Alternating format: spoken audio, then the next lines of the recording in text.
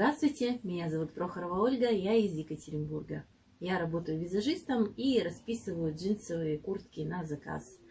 Э, рисование это мое хобби. Сегодня я хочу вам представить мой триптих, который называется «Цветочная фантазия». Он выполнен в технике графика, гелевой ручкой и акварелью. Смешанная техника.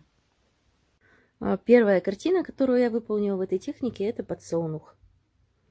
А, именно подсолнух, потому что это мои любимые цветы. Для меня это всегда солнышко, радость, как бы счастье. Вот такое значение для меня подсолнухи.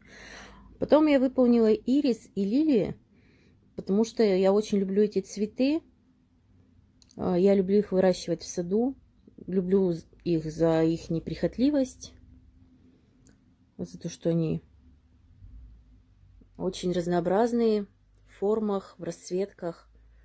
То есть, как бы это вот три моих любимых цветка в этом триптихе. Надеюсь, вам понравилась моя работа. Всем спасибо. Пока-пока. До новых встреч.